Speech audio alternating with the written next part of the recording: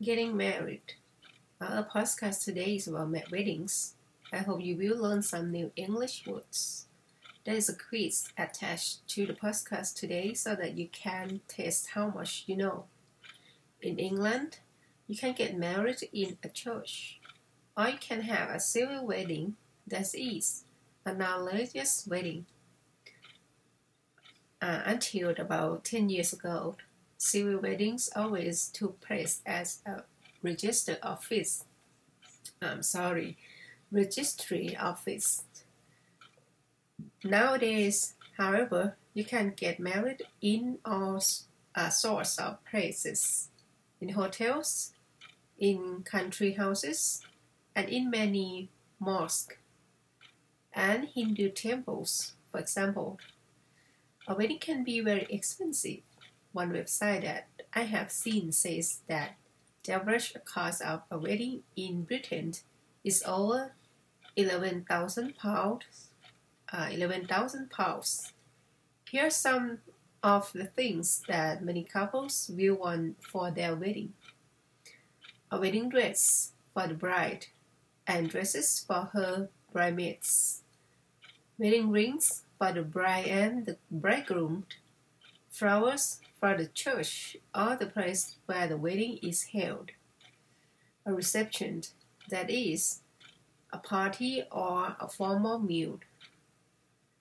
For the wedding guests, after the wedding ceremony, a wedding cake, a professional photographer to take pictures or videos of the wedding, a honeymoon, a holiday for the newly married couples after the wedding. And there are lots more things to spend money on if you want to. Some couples want to hire a beautiful house, draw carriage, or a vintage Rolls, uh, Rolls Royce car to take them away after the weddings. Some people even fly to holiday resorts in Mexico or Thailand to get married, and their families and friends fly there too. There is no such thing as a typical wedding. Every couple getting married has to decide for themselves what sort of wedding they want a religious wedding or a civil wedding, a big wedding with lots of guests, or a small, simple wedding. I went to a wedding last weekend. It was definitely not a typical wedding, but you might be interested in it. It was a Quaker wedding there was a priest or oh, I'm sorry, there was no priest or minister to conduct the wedding and no music or singing. The bride and the groom and the wedding guests are uh, the white, the bride and the groom and the wedding guests all sat silently together.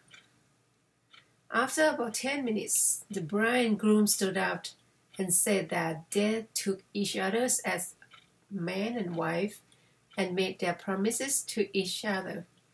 After that, some of their friends and relatives spoke about love and marriage, or read a poem or a passage from the Bible, or simply wished the couple every happiness together. The wedding lasted for about an hour. At the end, everyone who was there, about 80 of us, signed the wedding certificate as witnesses to the marriage.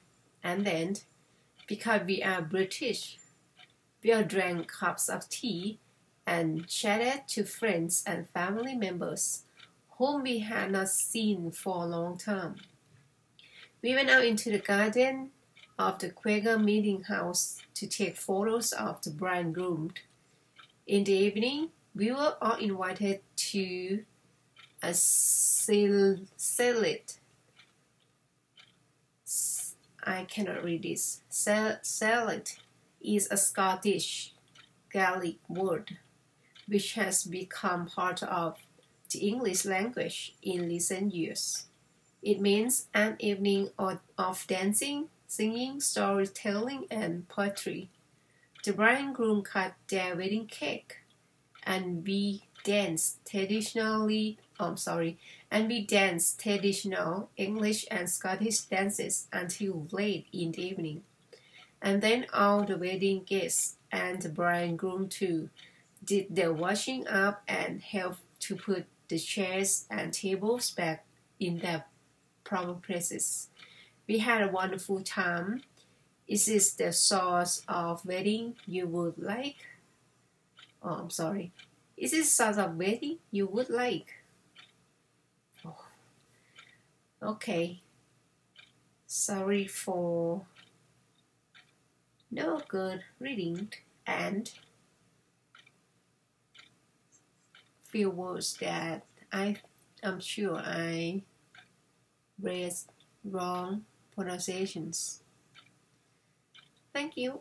Bye.